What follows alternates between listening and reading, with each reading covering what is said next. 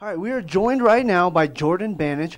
Banich, you had a great last set. The fifth set, you kind of took things over, and you scored six of your team high 17 kills in that set. What was your mindset going into that fifth set? I just wanted to win. That's pretty much all I was thinking about was I wanted to win for my team and for my coach. And how did that feel? I know you you caught fire, six kills in a row. How are you feeling out there in that fifth set?